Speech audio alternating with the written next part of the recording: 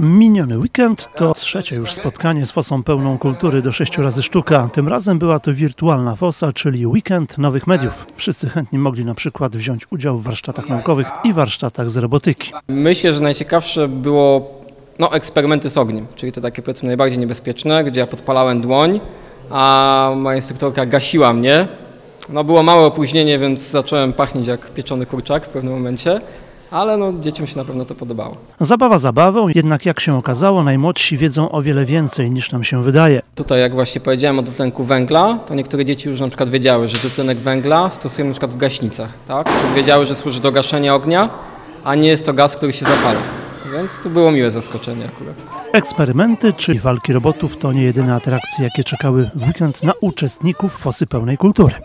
Amfiteatr wraz z pracownią nowych mediów przygotował kilka niespodzianek. W sobotę był to po- pokaz multimedialny z tego, co już udało nam się e, w pracowni zrobić, jakie filmy właśnie powstały i reportaże powstały e, w pracowni. Natomiast e, w niedzielę przygotowaliśmy dla wszystkich warsztaty dziennikarskie, a także prezenterskie. Ci młodsi ci starsi mogli spróbować swoich sił w wirtualnym studio lub po prostu zrobić sobie pamiątkowe zdjęcie na green screenie. A w ostatni weekend lipca kolejne spotkanie z fosą pełną kultury.